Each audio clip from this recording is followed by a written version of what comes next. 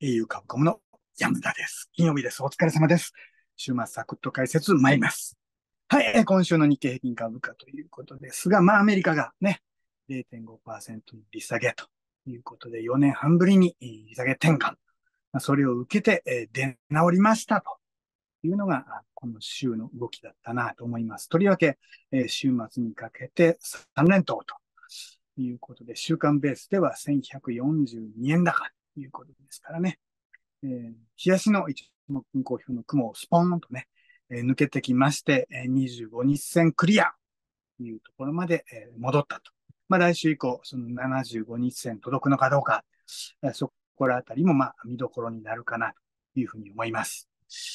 えー、今週のドル円、ユーロ円ということですね。まあアメリカ、先ほども言いましたが0.5%利下げということで、えー、待ちに待った利下げの秋が来たっ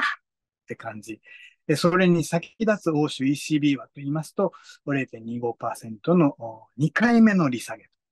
ということで、まあ、合わせりゃ同じだということですよね。ひとまず、この2ヶ月ぐらい、まあ、円高ということで進んできたのが、一旦目先いいとこなのかなというのが、あこのドル円、ユーロ円、えー、週足の動きではないかなというふうに思います。えー、今週のグラフはということで、えー、掲示しているのは、まあ、緑の線が2年債金利、赤の線が10年債金利、で、青の線が FF レートということです。まあ、この FF レートを上下させる、短期金利を上下させるというのが、まあ、アメリカの金融政策の要定ということであります。まあ、緑の線の2年債の方向に FF レートを誘導していくと。まあ、そういうふうに過去の動きからして、リードするのは2年歳。それを追いかける格好で FF レートということですので、まあ、今回も、まあ、そういった動きかな、見られます。まあ、年内あと2回、えー、11月と12月に FMC 予定されているわけですが、そこで0.25ずつ利下げすると、どうこうみたいなあ作図にしてあります。まあ、やはり、えー、緑の線を追っかける FF レート。そういった意識は妥当なのかなというふうに思います。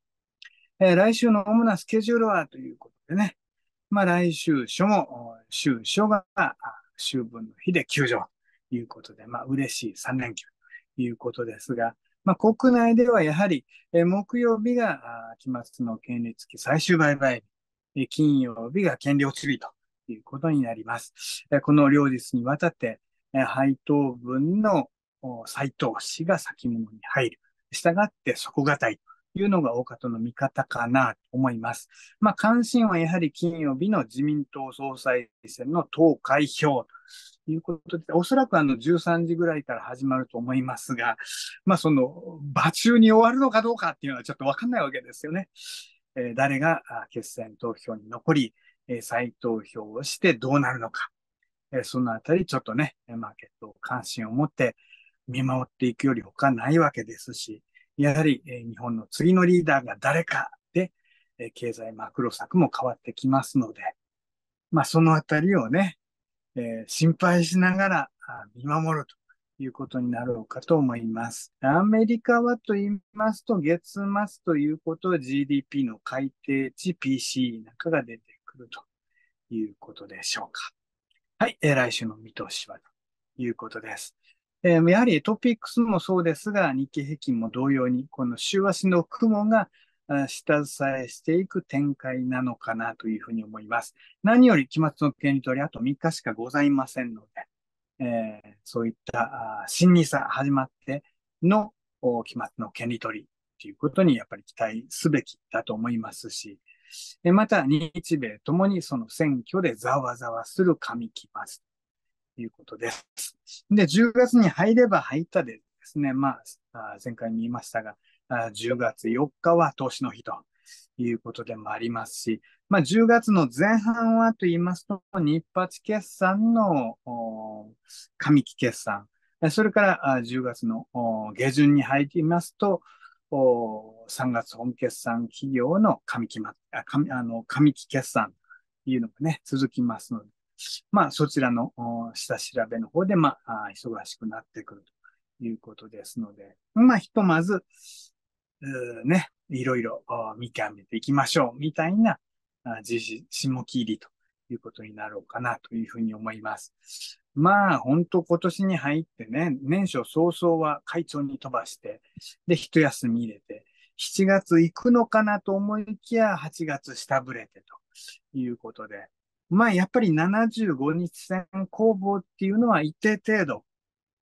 それなりのことがないと上抜いていくのも難しいかなとはいえ、えー、下さえも一定程度効いてくるというのが、新日開始以降の動きでもありますので、まあ、次の突破口は何じゃろな。えー、そういった見立てで、え楽しみにこの秋そば見ていけばよろしいんじゃないかなというふうに思います。まあ、欧米世界でも利下げの秋ということでもあります。まあ、クリスマス商戦どこらあたりまでいけるのかな。iPhone16 頑張れ。まあ、そういったことも含めて、ね、えー、経済状態見極めていくべきなのかなと思います。まあ、国内はと言いますと、まあ、インバウンドは活況ですが、国内個人の消費はというと、まあ、今一つ冴えないみたいなね、局面です。実際問題、給料が上がって、それがこのボーナス商戦等で具体的に何を買うということあたりまで、えー、消費活動が見えてくれば、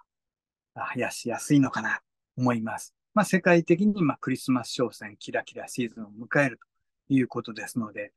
え手がた、えー、手がかりとしたら、まあ、ビジネスショー、まあ、東京ゲームショーをはじめ、続々と見本市始まりますので、そのあたりを注意深く見ていけばよろしいんじゃないのかなというふうに思います。はい、えー、今週のサクッと解説はこのあたりで締めさせていただきます。本当、最後の最後までえー、彼岸間際まで暑い日々が続いております。本当ね、スーッと温度が下がって過ごしやすい、えー、そういった日々になってくれればな、切に願っております。えー、よろしかったらチャンネル登録、ドボタンよろしくお願いいたします。ご清聴いただきましてありがとうございました。